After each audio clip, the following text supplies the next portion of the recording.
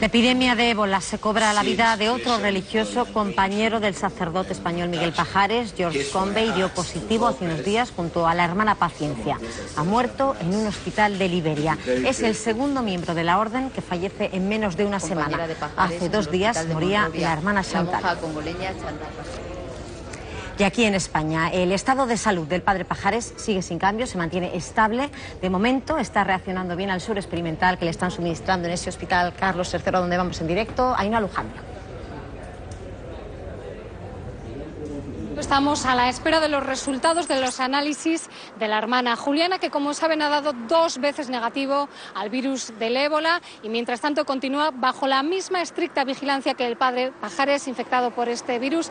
Un padre Pajares al que los médicos le preguntaron si quería someterse a un tratamiento experimental sin garantías de su eficacia ni de sus efectos secundarios. El padre Pajares accedió y el viernes se puso en marcha la maquinaria con el Ministerio de Sanidad y la Agencia Española del Medicamento para traer aquí en 48 horas hasta, hasta este Hospital Carlos III un suero llamado ZMAP, un suero en el que tienen puestas todas las esperanzas para su mejora y recuperación.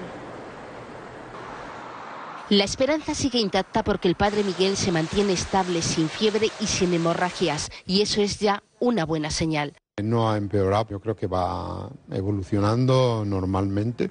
Uno de los militares que participó en la repatriación del sacerdote ha contado en espejo público que el padre Miguel apenas podía hablar. Solamente contestó sí, sí, sí, e intentó levantarse, pero no tenía fuerzas. Ya en el Carlos III ha sido el padre Miguel quien ha dado su consentimiento expreso para ser tratado con este fármaco experimental que recibe desde hace 24 horas. Lo había firmado, lo había consentido el padre Miguel.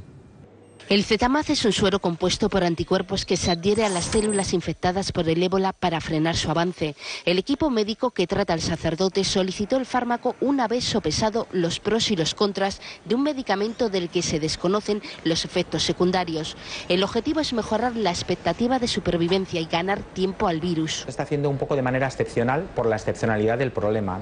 Se están utilizando como uso compasivo, lo cual hacemos en otras enfermedades donde utilizamos fármacos para tratar a un paciente que no tiene otras alternativas.